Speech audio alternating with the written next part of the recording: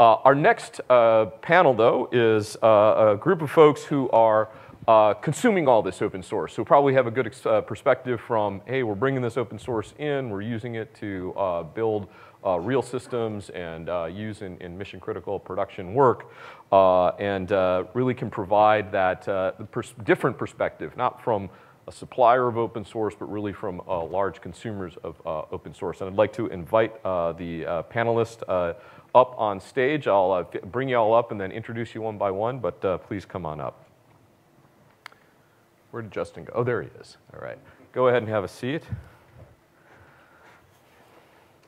So we have uh, Subbu Allamaraju, uh, VP of Technology uh, at uh, Expedia. So you lead uh, Expedia's uh, cloud migration and enterprise data center, all the public cloud work that you're doing. That's a humongous job.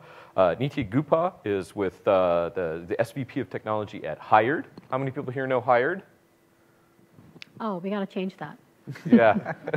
it's like the change Very healthcare guy yesterday. He's like, ah, you know, we do like two thirds of the healthcare financial transactions in the US, but uh, we have terrible marketing. uh, I think Hired has better marketing on that front. Uh, and then Justin Dean, uh, who works at uh, a company I believe most people know. Uh, I end, end up hitting that refresh button constantly on Ticketmaster to get good tickets to, to my favorite concerts. But welcome all of you. So, um, so you all uh, clearly are using uh, open source, as uh, Patrick mentioned. You know, more and more uh, systems are based on open source. It's, it's, sort of one. But tell us about, you know, what are some of the key open source technologies that you're seeing used in your stacks? You know, what what are you bringing in these days to you know move towards this sort of DevOps movement and, and so forth? I, and maybe we'll start on that end, just because we always start on this side, and we'll come back. Yeah, I mean, um, Ticketmaster at its core is you know we've been open source since the beginning. Well, I say the beginning. We're a 41 year old company, which a lot of people don't realize, but uh, the culture has been very, very DIY. Um, we you know, fa our founders built the nucleus of the ticketing engine, you know, um, in 1978. Um, some of that software we still run, um, fortunately or unfortunately.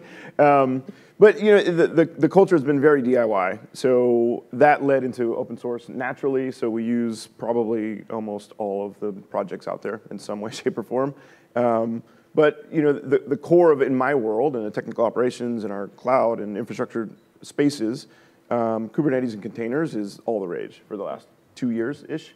Um, and I, you know, it's, it's, it's really changing the, the landscape for us because we're using our container movement um, as a catalyst to improve software across the company, you know, in all aspects of it. So, um, you know, all of the, all of the, the, you know, we're using these technologies that, that uh, not just from a cloud computing perspective, but from a um, let's deep dive into every one of our applications and, and uh, do the work of cracking open the code and making it um, more modern and really up leveling on all, uh, all fronts in order to get it to run into a container and then to get it to run into Kubernetes in a public cloud space.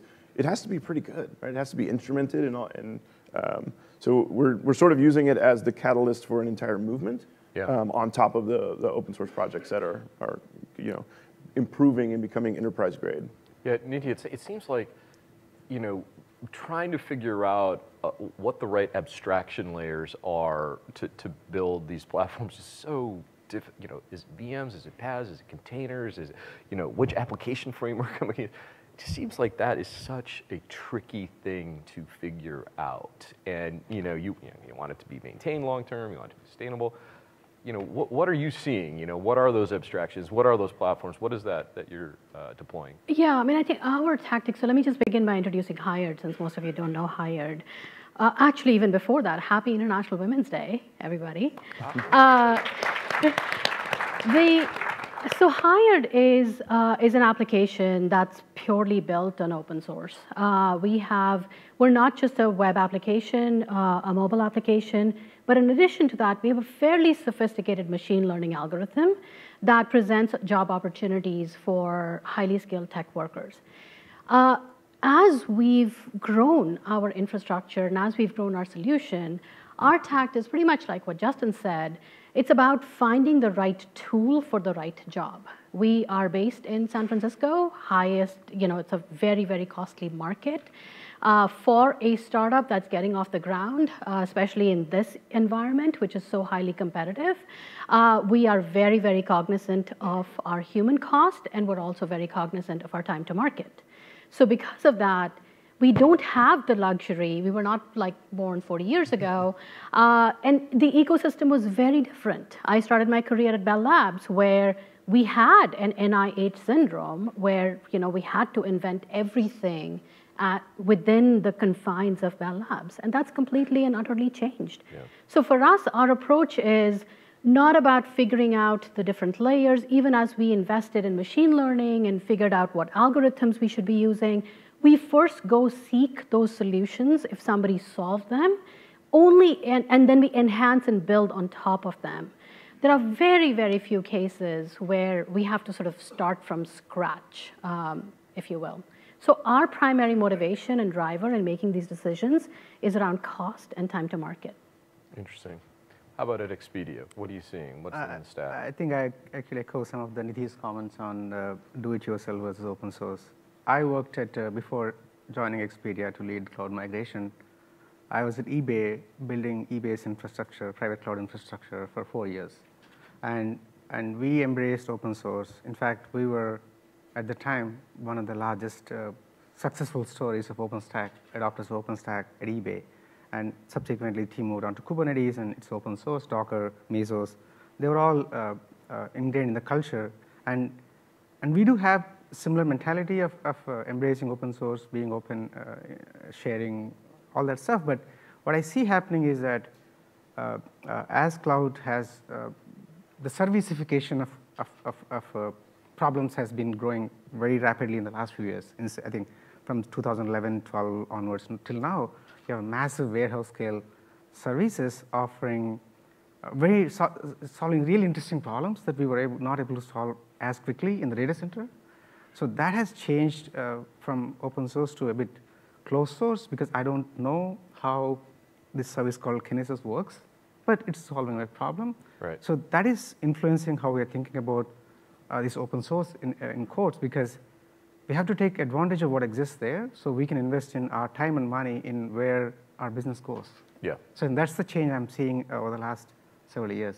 I echo actually what yeah. Nidhi is supporting. Yeah, and we saw that yesterday, you know, in the serverless conversation, mm -hmm. this, uh, you know, avoid lock-in, you know, solves a super fast right, problem. Right, right. Like, I, would be curious to hear what, what, what did the three of you, like, where do you land on this pendulum? Because I think those are, tough decisions because it's so tempting to just say, I got to get to market and just take that. And then five years later, you're like, wow, this is getting expensive.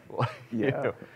um, uh, from, from the Ticketmaster's perspective, um, you know, it, it's, there's an interesting uh, dynamic that happens when you know at, at, a large company with lots of diversity of our product space and different teams and you know um, and, different cycle, like where they're at in the maturity of their, their particular product that they're working on. Um, we have a lot of aspirations, like, hey, we're gonna go and do whatever the, the thing is, right? We're gonna be all Kubernetes by next year. And then reality hits, and then you realize, you know, there's, a, there's an entire spectrum of, of these different teams.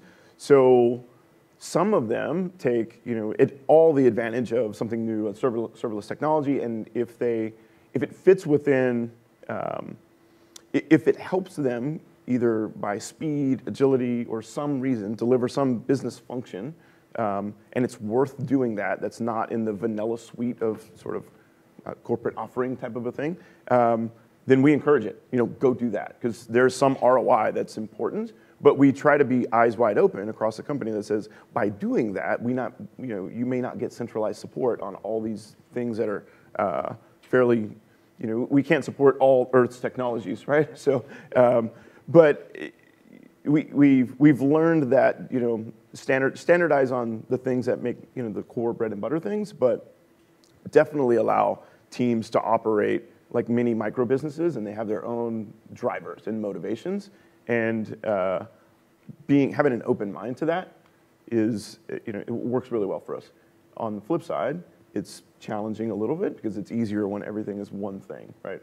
yeah. use this cloud, and the, here's the rules, and here's the menu, in and out burger menu, right? It's just not super practical for large scaled out companies that have probably a diverse business portfolio.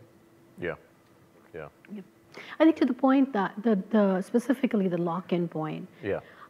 Lock-in can happen regardless of whether you're using open source or closed source, right? So at some point, um, if you hold back on avoiding lock-in, you're going to sacrifice efficiency. You're going to sacrifice, there's a cost component to it. Uh, no matter how much you try to avoid that lock-in, even if you sacrifice efficiency and you incur additional cost, you still will not be able to. So my, our personal point of view is go all in, and if you need to change down the road, you change down the road. Yeah. Can I make one comment real quick? Sure. Lock-in yeah. comment. So I would, I would, since we did have a, a, DIY spirit, like so we built our own cloud 10 years ago, and like it's really, really uh, useful for developers. It's it's easy to use and all that. I would argue that we've built the most lock-in machine in our private cloud that it's really yeah, challenging. You're locked into so yourself. You can literally lock and then you have to staff it, you know, so it's, yeah. it's challenging. So it, it, doesn't just go on the vendor side of Correct. things, it's you could lock into your own stuff. Right, sure. absolutely. Sure. Yeah, you... I, I couldn't agree more. I think, I think the moment you pick something, build some tools around it, build some operating procedures around it, um, and culture around it, you're locked into it. Yep. Whether you, that is an open source software or a closed source appliance or a cloud service, a lock-in is here to stay. It's part of our, uh, it's actually a cultural uh, artifact because I do believe that the process of maintain, the, the act of maintaining change, uh, having the culture to, yes, we can change anytime we need to change. I think that is for much more important than but then the fear-driven mindset of, okay, I don't want to embrace X product because that X is closed source. I don't like that vendor. He might mess my things in future. That's fear-driven approach. I would definitely not take that fear-driven approach. Instead, I would look at the opportunities that exist for me, for my business, for my customers, and go after those. Yeah. And interlocking is a process. I have to deal with it yep. over time. Yeah, it's funny because you know I, I, on Tuesday I kept saying like it, the these black and white like lock in versus not lock in.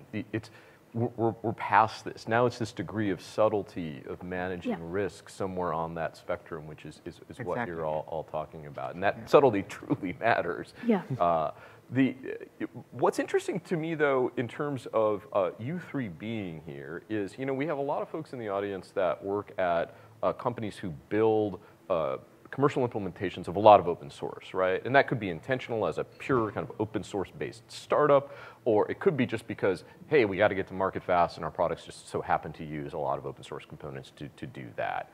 But, uh, and so they have program offices, they have people inside of the company who uh, manage the intellectual property sharing, that uh, work to tool the development process, to pull code in, modify, share back rules, so on and so forth. And we hadn't seen that as much in you know what you all represent, which which is not necessarily you know you, you obviously have a service you're providing, but we think much more of as end user, uh, these type of groups being formed. What what in each of your companies do, do you have like the, you know these policies? Are you building competency? Is it something you build right into the engineering team? Like how do you approach open source in your firms? Yeah. Like I'll start over there. Um, so it, it's interesting because it, one of the first things I noticed being here um, and talking to people, and on day one, I, I sort of had a little bit of uh, open source FOMO, maybe. I was like, you know, everyone has these open source program offices, and, and we don't have that. Um, and part of me is, you know, going and rationalizing, like, well, because in our DNA. But then part of me is like, we're probably missing the boat a little bit on like doing oh, it in are. a structured way. Um, but you know, we we, we definitely um, encourage in just the, the fabric of our engineering culture. Um, obviously, using open source and but but contributing as well. Yeah. And part of it is we want the highest caliber talent working at the company, and we want them to be happy and excited about what they do, and we want them to be part of the open source community. And normally, that's where we find them and we recruit them. So they're naturally inclined to want to participate in that, and we support it in every level that we can possibly do. Um, everything from you know actually committing to upstream projects, uh, you know, as well as supporting sending people around and talking about stuff, which, you know, if you go back a few years ago, you wouldn't see a, a Ticketmaster standing on stage talking about things that they're doing, right? Because we're super secretive and keep it all locked down, right? So we're, we're changing how we think about um, the, the value we provide as a company. And it's not our secrets, right? It's, it's what we provide in the platforms that we, we offer. Yeah. And it's, it, there's almost an inter, interesting corollary. Uh, as a company, we're opening up our platform, meaning not the people who own all the ticketing inventory, but now we're becoming a platform for a marketplace, essentially. Right. So there's almost this, this uh, company level open source mentality that's, that's happening and permeating. So it's, it, um, it, it yeah, so I, the, the, takeaway that I have from this week is to really start investigating,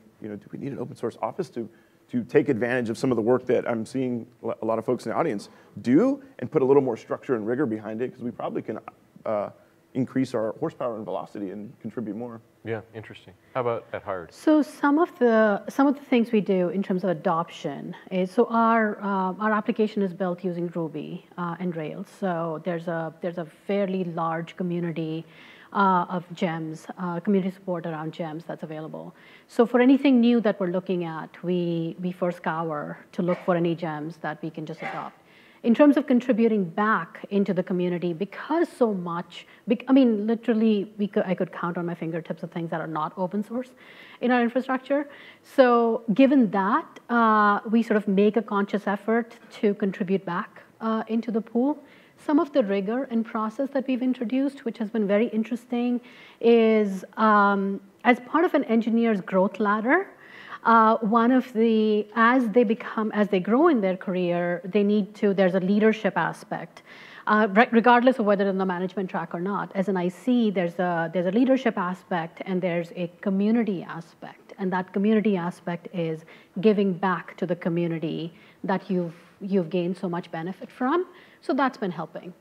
Yeah, I think we, we take a similar approach. In fact, I was uh, thinking, like Justin was thinking, like we don't have an office, program office but we are practicing learning, we are practicing sharing, we hmm. encourage, mm. in fact, one of the norms we set for our engineers, uh, like you had talked about, is that uh, learning and sharing are part of uh, your, your norms we expect each engineer to adhere to. Right. So you cannot say, I won't share, I won't talk. Your, we expect you to do that as part of exhibiting growth mindset, taking feedback from others, and leveraging. So we always question like, well, yes, you are doing this problem, but are you leveraging something that exists? in a different team, we try to look for that to an extent, uh, as long as it doesn't impede that person's uh, uh, drive to do th things on his own, because there are teams that want to do it, and we don't stop that. Yeah. But I think more important, the leadership aspect is, uh, are you able to, uh, as you as you grow as an engineer or individual, are you able to promote these behaviors, learning and sharing and, and, and demonstrating? We do encourage contributions uh, in open source, but we don't have a program office as such and actually learning from others uh, uh, and what, how they approach that problem. Yeah, I mean, because you know, the question I have is, it, it, it, what I hear a lot, you know, you heard this from Home Depot yesterday, right? You know, very traditional company, and I think they said four or five times on stage in their keynote, a, we're hiring. B, we love open source developers. Did we mention we're hiring? We love open source. we're hiring. Open source developers are awesome. Right? I mean, clearly that is a huge motivation to let your employees go work in these communities because that's what they want. That motivates them. That helps you and so forth. What, what are some of the, the but, but then I talk to, let's say, a financial services uh, company that'll say, whoa, whoa, whoa, whoa, we're not, we're regulated, we're not sharing what are some of the road, can you give some examples of road bumps that you've had in terms of, you know, we don't, we're not quite sure how to share, we have white and black lists of licenses, or we're not, we don't know how to pick projects. What, what are things that you struggle with that maybe this community can help you with? Mm -hmm. So I can speak for us um, exactly the example that you gave. Um, as we um, as we get larger enterprises, especially banks, on our platform, um, they get scared. They get scared. They ask for a disclosure on when we get the infosec requests. You know, they ask about open source software, mm. and you know sometimes they ask for us to share the list of open source, and you know that list is really, really massive. Do, do, you, do you have a good list? I won't put you. we actually do have All a good list. Right. Yes, we use this tool, we use this gem, uh, thanks to the Ruby ecosystem, uh, that actually discovers it and also actually very easily dis, uh, picks up as to what the licenses are uh, as well. But um, but yeah, it's a, it's a big challenge in terms of not just educating our customers, but also their legal teams and their security consultants. That you know, as to the pro- the process with which we've gone through in terms of through which we've gone through in terms of evaluation. Um, we have this constant conversation with our legal, um, right? Thankfully, over the last several years, legal is sort of catching up. So um, several years ago, it was it was a huge struggle uh, in working with our legal department. But I think I think I think the industry is catching up. Yeah, I, I, I would, I would uh, say we're in a similar boat. Um, the, the thing that I think, uh, I guess the biggest unlock for us in that space was is starting to educate the folks in the company who manage those risks, like our legal, our uh, PR teams. Like those are the two big, big ones to get anything done or approved. And the closer they are to understanding the value of um, being a company that is embracing and adopting and contributing back in an open source community, the, the more they can um, help enable us to do things and approve things versus just look at the risk side, right? Because there's, there's not a lot of upside when you send an email and say, hey, we're thinking about doing this thing, can you approve this? And it's just, you know, some legal doc.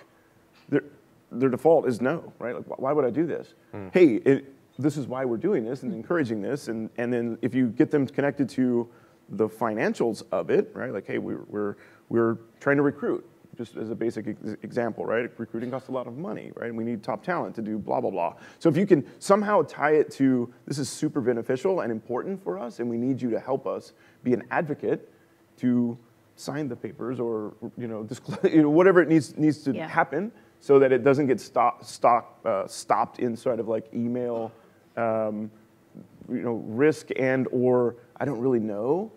And uh, you know, Yeah. definitely in the I don't know. I've had a lot of those. It's something that should take two days, takes two months because no one's comfortable just putting their name on it because they're confused. Yep. So But uh, Subbu, you've been through you know, generations of, of sort of you know OpenStack to Mesos to, to Kubernetes and, and sort of what what were the did you experience similar roadblocks where like whoa we're gonna rebase our platform on this thing and legal risk or like what, what challenges did you see going through that process? We actually were fortunate. We did not uh, go. I did not go through the roadblocks in terms of using open source, adopting open source, and operating at a larger scale because we actually benefited a lot from that community, and we were able to scale, and produce tremendous financial and agility gains for the companies. So that was positive. I think the roadblocks are sort of subtle roadblocks that, that I have seen in my career in, every company I worked for, because not every engineer uh, is willing to stand up and say, yes, I have this small contribution, I'm going to make it, tell me how to do it. Uh, oftentimes the, there is reluctance, oh, now I have to do this, why do I do this? So that culture mind shift is still happening, has to ha- is, teams are going through that. Yeah. I think there's a lot more mentoring and, and uh, this practice of growth mindset needs to continue so that you're sharing and you're encouraged to share, you become more comfortable sharing. A lot of us still have the discomfort, oh, I need to commit, now it's part of my resume. And, and is it that they're too busy to say like, ah, you know, I'm already, you're already, I'm already working so much. Now I got to go commit this thing to a project, and they're going to give me a hard time, and they might not like my code. Do you, do you experience this a lot? Like, There is that. There is Yeah. certainly some of that because teams are uh, in every company I work for. There's a lot more work to do than the number of team, the number of people that are to do the work. Sure. I think that is playing a bit of role. So uh, I've seen uh, unless you have a dedicated effort to reward teams, uh, to encourage the practices, show them how to do it. I don't think it's naturally going to happen in the So, so I'd love to get your all three of your advice on. You know, one of the things we said early on uh, this week is how do you how can you be a really good upstream for this kind of downstream cons, you know consumption? And one thing I just heard is like, man, if you make it hard for me to go submit patches and you're put you know raking us over the coals all the time, or it's an unclear process. Probably not going to get that code back and starts to kind of deteriorate. Well, what are, what are things you would advise upstreams to, to do? um, you know, so one of the things that's worked really well um, is, you know, when we when we started down our Kubernetes journey, um, one of the things that we did immediately was realized, hey, we we do not have the you know talent internally to really say that it, we can operate it at scale, production grade. So we partnered with uh, CoreOS, and through that that partnership, we've jointly um, built things that were very specific to an enterprise, like so, things like um, detailed uh, cost and chargeback inside of Kubernetes itself, right? So things that the, probably the upstream doesn't really deal with, but for me, I have to build this stuff back. You know, yeah. a million internal users. So we work with their product teams, and we came up with, hey, you know, sketched out what to build, and then we jointly build it, and then they they helped us push it back upstream. Those sort of things. Yeah. And it, they know better, you know, how to get something back upstream than we do, or one of a, an engineer who doesn't do that professionally all the time. But it, it was just like this support harness that we, we, you partner with with companies that have a vested interest, and it makes it easier for us to jointly solve these problems, and and they take some of the friction out of it for us. So I, I thought this was a, a really good um, uh, example of of how to take a company who's we have all the problems that, that you know, a lot of the, the, the upstreams don't deal with. So we have a lot of knowledge, and, and we can offer that and some hands-on keyboard horsepower. Um, and then they have the knowledge of how to get it in, up, upstream. Yeah, I mean, it's interesting because you, you, you know, in any user-driven innovation cycle, the, the end-user requirements are obviously critical to this. And, you know, a, a developer, you know, maybe working in isolation isn't going to see the scaling problems and the, you know, the, you gave a billing example that, you know, you would. But what you're saying, and I think we all talk about, is that having a upstream that has a support ecosystem of organizations that can act as you know, essentially commercial intermediaries to that project is highly valuable. Uh, do you look for that, Nidhi? At, at we don't. We don't necessarily look for commercial intermediaries, but we do look for uh, we do look for um, open source software that's well supported and has a community support behind it. But is that supported in a commercial sense, in that like uh, there's ten vendors there, or is it may or like, may not? Okay. Right. So it depends. So uh-huh. for really large pieces of infrastructure, yes.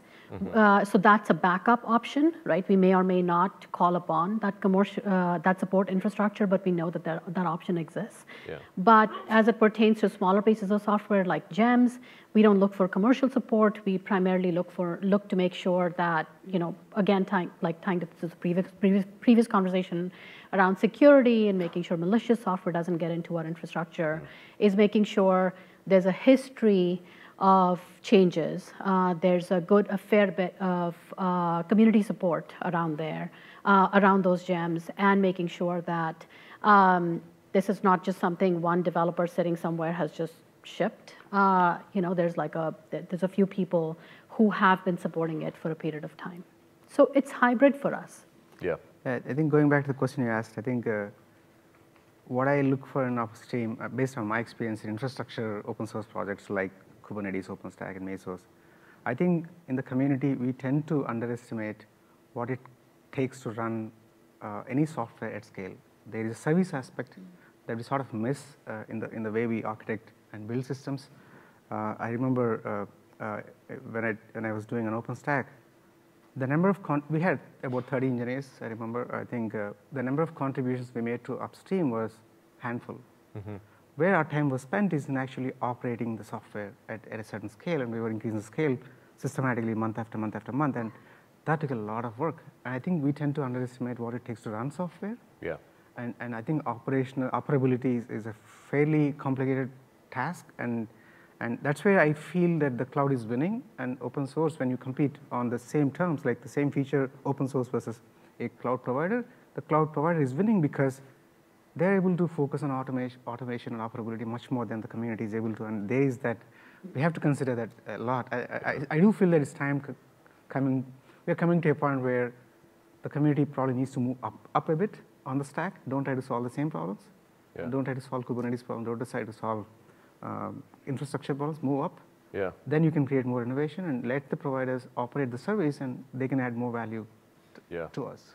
Yeah, I think one thing that's always been interesting is that there's eth- this ethos of scratch your own niche, right? Like if you come to me with a requirement as an open source project, you better come with code, right?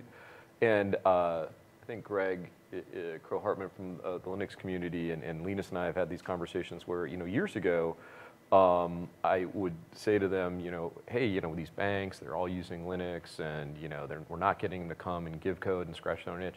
And surprisingly, these guys saying back to me, we'll just take the requirements. Like, we're just not operating those environments, right? We, we really want to understand. And so it sounds like, you know, just projects that have a healthier way of at least just even hearing you, mm-hmm. um, even if it's not directly with code, it is, is something that, that you value there. Absolutely, yeah, absolutely. Yeah, I get it. I, I, I want to give uh, last word on uh, the, the security topic uh, that, that you just heard. Um, you know, this is something that I think we're just all going to have to deal with and live with and, and improve, and we're at the beginning of a long journey of, of how to fix that. What, what, what is your perspective on some of the concerns that Patrick raised, which is, you know, oh my gosh, this may, is this stuff more or less secure and whatnot? What, what, what are your perspectives? I think uh, I actually touch, touch upon one point, and I do agree with uh, Patrick that uh, I think it's time to move on from whether it's multiple ISOs looking at the source versus proprietary. I think what I'm seeing as a bigger, a bigger challenge uh, in corporations is that in the last five, ten years, we have sort of broken the walls between dev and ops. Yeah. So there is more feedback there's more awareness of what happens in the site when things go wrong. So that feedback loop helped engineers to build better systems. That's happening, very healthy uh, trend, I see that. But when it comes to security, it's not so because teams don't understand what security is doing and security sort of has this glass house mentality. We are in the ivory tower, we tell you what not to do, but we don't tell you why, we don't educate you. So there is that culture gap a lot and, and consequently teams don't make mistakes because they don't understand what the risk vectors are. Hmm. I think that DevSecOps uh, model where it's not just about tools, it's about the culture. How do you incorporate this mentality into your, your way of thinking, your way of doing? So you're aware of, you make better choices, you teach each other. Yeah. And that's need, that needs to happen. Yeah. Yeah. Go ahead. Sure. Uh, so, uh, you know, it, it's an interesting time for security for everyone, right? Like, because it's now in vogue, it's now a topic, it's now on the daily news. Like, it, it's a thing, like that more than it used to be, even though it's, you know, the, the landscape hasn't changed. We're talking about it now. Um, and so, you know, we're we are constantly reevaluating, you know, our practices, procedures, the culture around security, you know, it, it, within the company. Um, I'm finding now it's a little easier to reevaluate because usually reevaluate probably means spend more money on it to some level. But now um, the company uh, it puts it as a number one priority. Mm. Clearly, right at the at the C-suite is security is number one. Whatever we need to do to do it correctly, um, which makes it a lot easier, right, than it was say two years ago. You know, um, so that's giving us the bandwidth and, and the resources to really invest in, in uh, the tools, the uh, the teams, the, put the right policies and procedures in place. Um, so it, it, you know, it's, it's, it's a constant evolution, I would say. And, you know, we're, we, we border the, the, the different aspects of, of, you know, it's, security is everyone's job, but then do you have people that are security in their title? And, and balancing that, right? So you have to have the security team that has security in their title to enable and teach and, and get the requirements that you expect out of all of your engineers or all of your developers um, so that they know what to do and they, and they yeah. know if they're winning or not. Yeah. Um, so I would say, you know, for us, it's just a constant focus of ensuring that we're continuing to double down. Yeah. I think uh, similar to what Subbu said, uh, I 100% agree. We've sort of broken down the walls between dev and DevOps, but performance and security are two categories that are still an afterthought. Hmm. Right. So we we at Hired have a very sophisticated CI/CD engine. We don't have we hardly have any tech ops staff. We hardly have we don't have any QA. Uh, we've automated the heck out of our pipeline.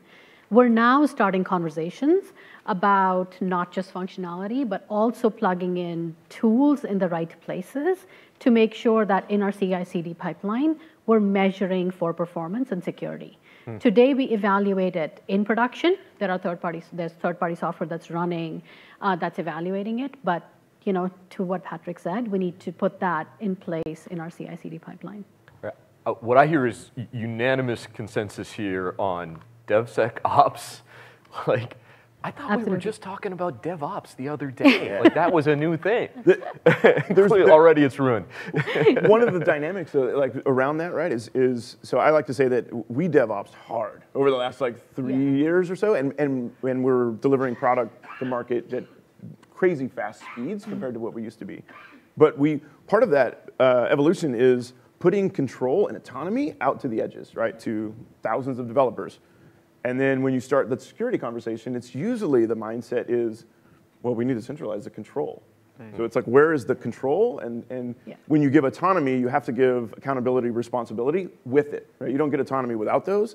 And that's where the DevOps stuff got a, a little off the rails, I think, for most companies. It's here's the, here's the autonomy without the, the rigor behind it. All right, so next year, we heard, all week I've been hearing security is everybody's responsibility, DevSecOps, we have to integrate this in the process, we have to have a culture around this. I mean, next year, let's check in on how much progress we've made on actually uh, doing that. I think that would be a, an interesting thing in retrospective to look back on. So I want to thank all of you for coming and sharing your insights, uh, and let's give them a quick round of applause. Thank you.